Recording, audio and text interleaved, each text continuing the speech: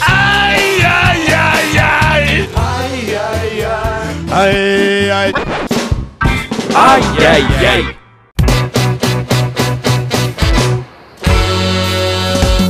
Этот видеоролик в нашу редакцию прислала кировчанка Татьяна. Сняла она его в районе дома номер 107 по улице Московской. И вот от чего негодует Татьяна. Дело в том, что неизвестные лица, ну по крайней мере неизвестные Татьяне, вырубили кусты возле дороги, а ветки вместо того, чтобы вывести, сбросили в речку, прямо в водоохранной зоне. И сейчас, вместо того, чтобы раскаиваться в содеянном, эти неизвестные наверняка хихикают и потирают руки. Так вот, Татьяна и местные жители передают вам, виновники сего, горячее, пламенное ай-яй-яй.